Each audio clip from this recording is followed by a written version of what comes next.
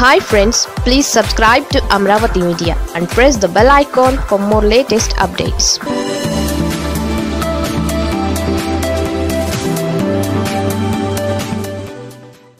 కంచుకోటలో టీడీపీకి కమ్మని దెబ్బ. తెలుగుదేశం పార్టీలో కమ్మ సామాజిక వర్గం హవా ఎక్కువగా ఉంటుందనే సంగతి గురించి ప్రత్యేకంగా చెప్పుకోవాల్సిన పని లేదు. టీడీపీలో కమ్మ వర్గం నేతల డామినేషన్ ఎక్కువగానే ఉంటుంది. రాష్ట్రంలో పలు నియోజకవర్గాలలో కమ్మ నేతలదే పెత్తనం. అయితే ఈ పెత్తనం వల్ల టీడీపీకి ఒక్కోసారి లాభం జరగవచ్చు కానీ ఒక్కోసారి మాత్రం నష్టం జరిగేలా ఉంది. ఎందుకంటే ఎస్సీ స్థానాల్లో కూడా కమ్మ నేతల పెత్తనం వల్ల పార్టీకి డ్యామేజ్ జరుగుతుంది. అలా కమ్మ నేతల పెత్తనం వల్లే కంచుకోటగా ఉన్న కొవ్వూరులో టీడీపీ చాలా వరకు దెబ్బతింది. మొదటి నుంచి కొవ్వూరు నియోజకవర్గం టీడీపీ కంచుకోట అనే సంగతి తెలిసిందే. పంతొమ్మిది వందల ఎనభై మూడు నుంచి రెండు వేల పంతొమ్మిది వరకు చూసుకుంటే కొవ్వూరులో టీడీపీ ఆరుసార్లు విజయం సాధించింది.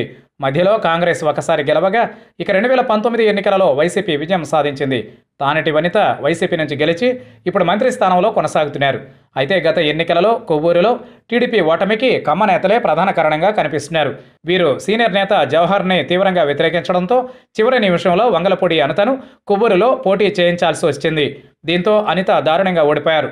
ఇక ఎన్నికలు అయిపోయాక అనిత మళ్ళీ పాయకరావుపేటకి వెళ్ళిపోయిన విషయం తెలిసిందే. కానీ కొవ్వూరుకు మాత్రం ఇంకా ఎన్ఛార్జిని పెట్టలేదు. ఇక్కడ టీడీపీ కమ్మ నేతలు మాత్రం ఎన్ఛార్జ్ పదవి కమ్మ వర్గానికి ఇవ్వాలని డిమాండ్ చేస్తున్నారు.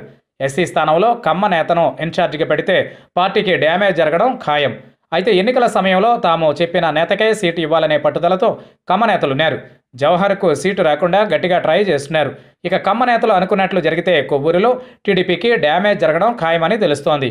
జవహర్కు త్వరగా బాధ్యతలు అప్పగిస్తే కొవ్వూరులో పార్టీ పరిస్థితి మెరుగయ్యే అవకాశాలు ఉన్నాయని టీడీపీ శ్రేణులు భావిస్తున్నాయి. చూడాలి మరి కొవ్వూరుని చివరికి ముంచుతారో తేలుస్తారు.